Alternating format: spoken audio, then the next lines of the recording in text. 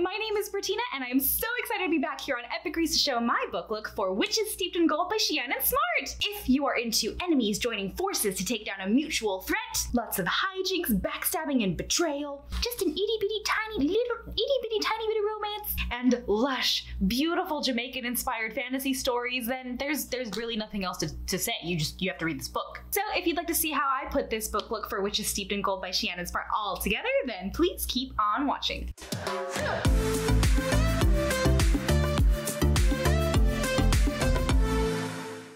As always, we're starting with a clean bare face, but before putting on any products, we need to apply a bald cap. To do that, I'm slicking my hair back and gelling and hairspraying it as flat as possible and hiding the rest of my hair in a low and tight braid.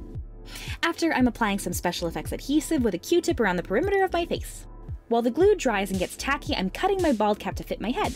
Once the glue is tacky, I'm just slipping and pulling the bald cap down until it's flush against my head. With a little bit of acetone on a q-tip, I'm melting a hole in the sides of my bald cap so I can slip my ears out.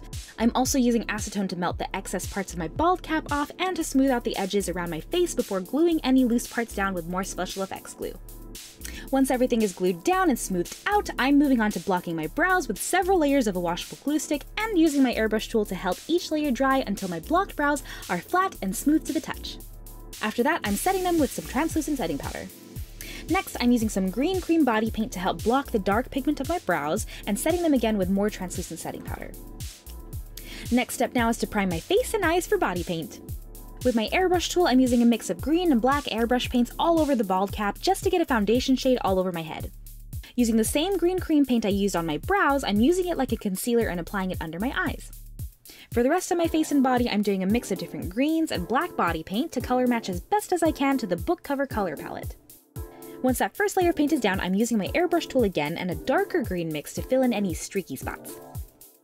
After that, I'm using black and white airbrush paints to contour, highlight, and to better define my features through all of the paint.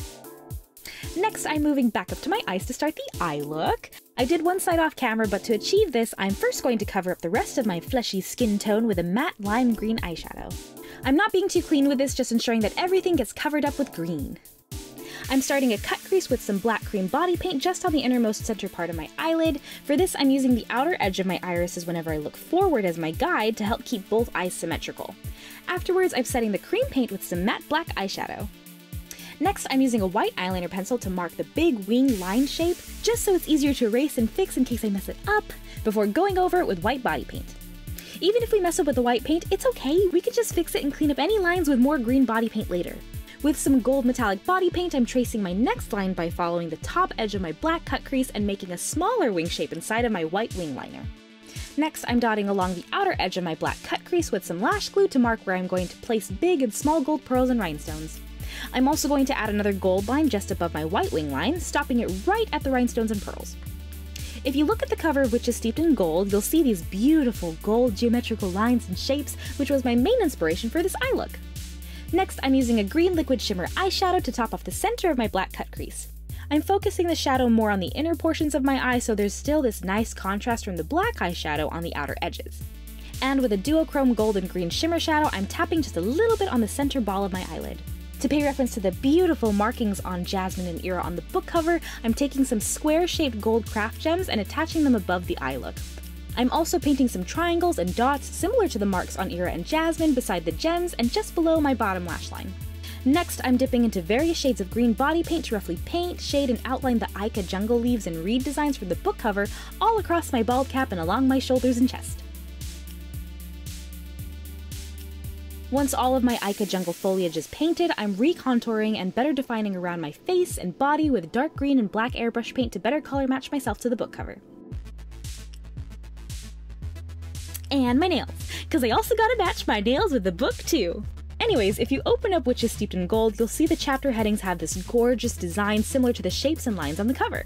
I wanted to incorporate this into the look and decided to turn it into a gold painted decolletage design that looks like an extension of my Iraya necklace.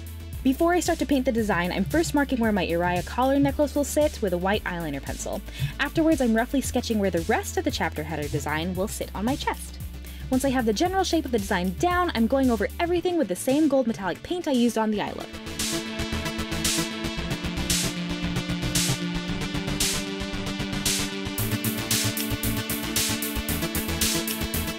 I'm also painting some extra lines across my shoulders, which I'll embellish later. But once everything is all painted, I'm setting everything with some heavy duty setting spray. Before my setting spray can dry, I'm quickly applying some gold highlighter along my cheekbones, chin, nose, cupid's bow, forehead, collarbones, shoulders, basically all over me, just to get the optimum amount of golden witchy glow and shine. After I'm using the same black cream paint that I used on my eyes as a lipstick, and I'm topping off the center of my lips with the same green shimmer shadow that I used on the eye look. Next, I'm curling my lashes in preparation for some big dramatic falsies, and I'm blending in my lash band with just a teensy bit of black liquid eyeliner just on the lash band and on my inner corner. Once those falsies are on, I'm slathering a hefty amount of black mascara on my lower lash line and flicking out some fake painted lashes with my liquid eyeliner along the outer corner of my bottom lashes. And just because I love being shiny and sparkly, I'm topping off my lips with some super shiny lip gloss and my golden cut creases and triangles with some golden glitter. After that, I'm gluing some gold pearls along the gold lines on my shoulders to make them look a little bit more like accessory chains. Once all of my rhinestones and pearls are on, it's time for my witches steeped in gold head and face chain mask! Yay! If you'd like to see how I made this headpiece, I'll be uploading a video on how I did it over on my YouTube channel and my IGTV coming soon, so please be sure to check it out! Slight spoiler alert! My main inspiration for this headpiece came from not only the gold designs on the book cover, but also Iraya's gold conduit coin, the magic system in relationship to gold, and the god Anansi in the story. So, in honor of all of those, I wanted to decorate my chain mask with gold conduit coins and make the gold chains drape, almost like it's an Anansi spiderweb mask across my head and face. Once that headpiece is on, last step now is to put in some witchy whiteout contacts and paint my arms and hands. But after that, we're done! Woo! Here is our finished look for Witches Steeped in Gold by Ciannon Smart! I wanted to thank Ciannon Smart immensely for this beautiful, lush, black girl magic filled story. I can't wait to read what happens next with Iraya and Jazmyne.